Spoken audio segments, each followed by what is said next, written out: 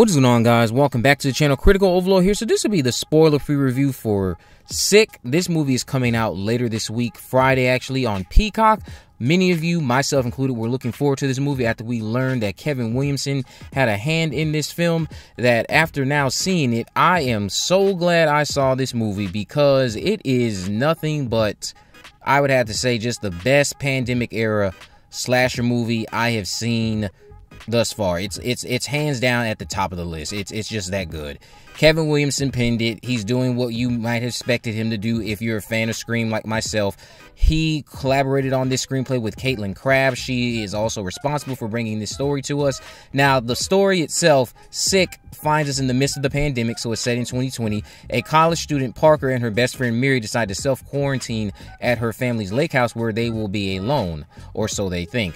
Now, this is directed by John Hyams, who is just someone I want to see collaborate with Kevin Williamson that much more. He did this one movie in 2020 that I also recall loving a lot. That was titled Alone, I believe. Um, and he's just proving himself to be very versatile as a filmmaker and i want to see what he does next he's very good at doing these action capturing action sequences and combining them with these tense horror-esque narratives. He's just really good at it. And he's also, I know he's done other movies in the past that were just action based movies. So to have him bring what he already is a, a, a clearly master of into the horror genre and combining that with Kevin Williamson, you have a hit on your hands. And that's exactly what Sick is. It's not something that is just the most, oh my God, wow, like top 10 10 out of 10 movie or anything like that, but on a technical level, it's just so masterfully done that it elevates the story because you'll see what I mean when you sit down and watch the movie.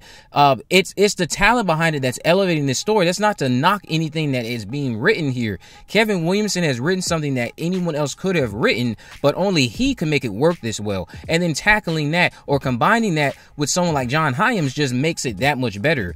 Um, that is up until we get to the reveals, which didn't impress me or anything like like that, but it was a cohesive and logical motive despite if I did or didn't like it. Even if you did or don't like it, when you rewatch it, everything makes sense. It comes together and it's like, aha, I see it. Even though I don't really care for the motive personally, I'm just saying that. Williamson has packed this thing with meta dialogue, self aware characters, nods to horror classics like Scream, Scream 2, Halloween, and Friday the 13th. The COVID commentary might be preachy to some, but it never reached what people would label, uh, what would they call it?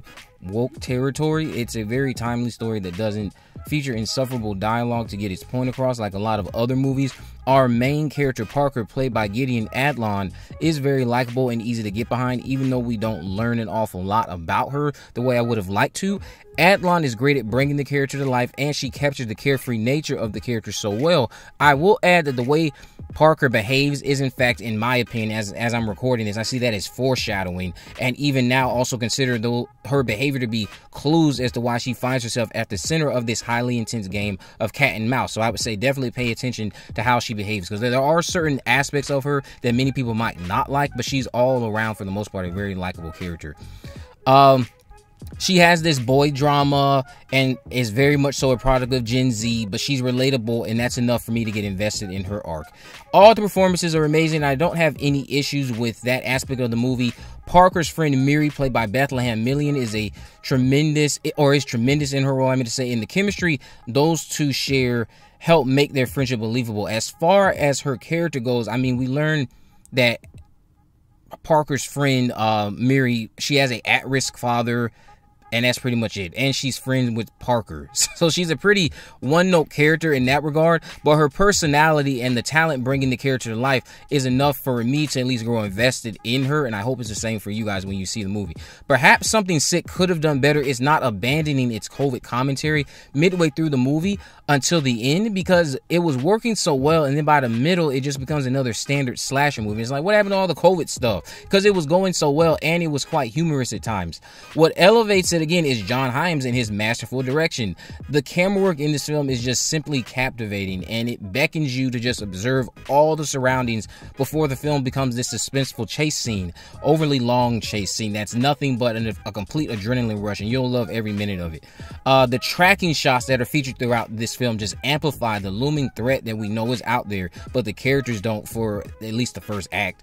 So those shots combined with the film's editing choices truly get you on the edge and help create this un uneasy feeling the moment the sun goes down. The film is rather fast paced, I will say that. So don't expect any real breathing room when the intensity finds its footing because it's going it's not going to let up. It's really not. It pay the pacing for the movie works for the most part and it allows it to set the stage for the COVID world up front, establishing the paranoia of 2020 that people had in 2020, spending brief time getting to know about the characters and then it thrusts you into this adrenaline rush of an experience. This movie is just so well made. It just really is. When you see it, sure, like me, like I said, some of the negatives with the movie are the fact that I think the body count could have been greater. Although, given the characters that are in it, I see why you don't have too much of a high body count when it comes to your protagonist, anyway. On the other hand, when you find out again what you see in the trailer, the person responsible for this there are some twists and turns related to that that will help add to the body count. And also, the way the writing is kind of just setting you up to think that you have it all figured out, but then you're like, oh, wait, no, I don't. It's, it's like, okay, typical Kevin Williamson fashion, one step ahead of us, subverting our expectations. It's all just so well handled, and I hope these two collaborate on more movies.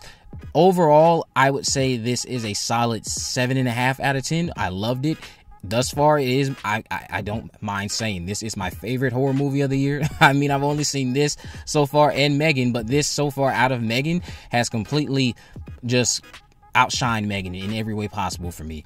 Um, not to say that the characters again are the most well written or well rounded, but when you want a chase scene, like many of you who didn't get that with Scream Five or begging for one, Kevin Williamson just delivered one that's nearly an hour, uh, nearly an hour long, and it's just so intense and so well made. Um, I just, I just, I don't really know what else to say about this movie other than I, I really loved it.